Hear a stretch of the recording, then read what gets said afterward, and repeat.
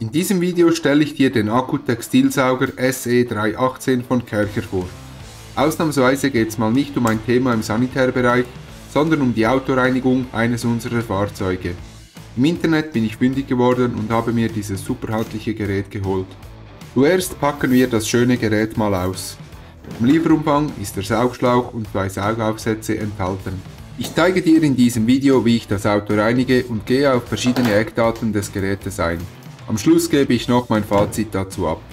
Da wir einen Hund haben, ist unser Auto zum Teil sehr schmutzig und feucht durch das Hecheln. Die Sitze sind hier aktuell wirklich sehr sehr dreckig, also muss ein starkes Gerät her. Ich habe mir direkt auch noch diese Flasche Teppichreiniger dazu bestellt. Er eignet sich für alle Arten von Textilien und Polster. Zusätzlich habe ich auch noch einen Kercher Akku mit Ladegerät gekauft. Man hat hier zwei Aufsätze, mit denen man das Gerät in verschiedenen Situationen benutzen kann.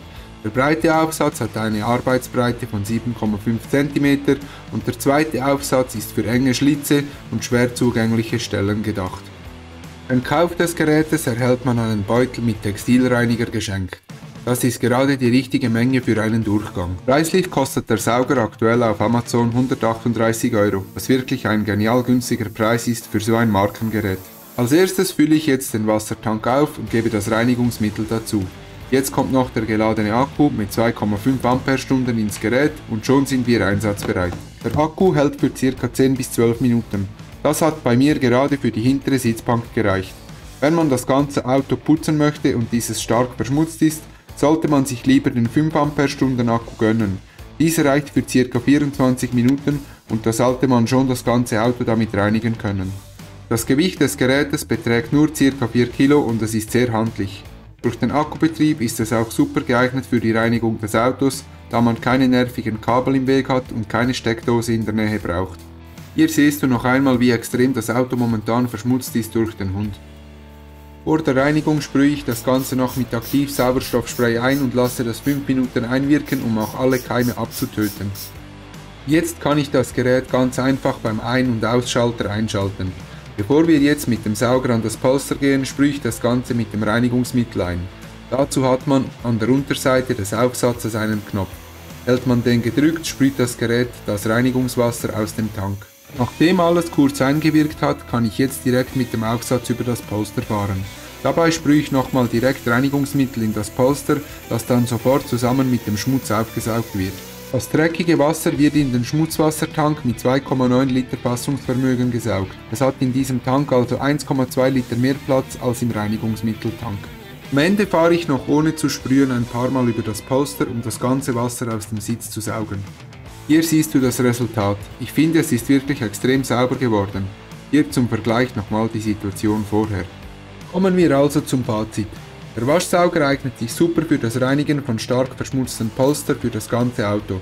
Auch die Autoteppiche und der Kofferraum lassen sich damit hervorragend reinigen und man kommt auch an Stellen, die sonst schwer zu erreichen sind. Mit der Sprühfunktion entfernt man auch tiefsitzenden Dreck aus Stellen, die man sonst mit einem herkömmlichen Staubsauger nicht erreicht. Festsitzender Schmutz aus flussigem Material wird so auch optimal gelöst und entfernt. Der Sauger kann natürlich auch für Sofas, Teppiche und alle Arten von Polster und Textilien verwendet werden.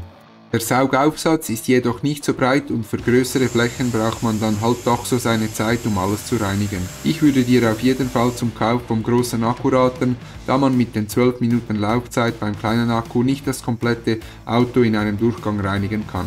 Das ist für mich ein kleiner Negativpunkt. Wenn man nur punktuell oder kleinere Flächen reinigen möchte, kann auch der kleinere Akku reichen. Mir gefällt vor allem, dass das Gerät so einfach zu bedienen und sehr schnell einsatzbereit ist.